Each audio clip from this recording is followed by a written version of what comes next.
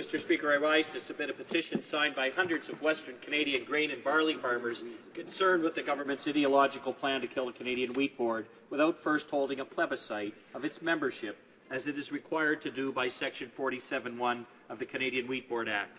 Western Canadian farmers' livelihoods are at risk should they lose the clout of the Canadian Wheat Board to set the best prices for their grain, negotiate fair treatment from the railways, and lower transportation costs among the many services it provides. The petitioners demand that this Minister of Agriculture honour their wishes as expressed democratically through a plebiscite. Thank you, Mr.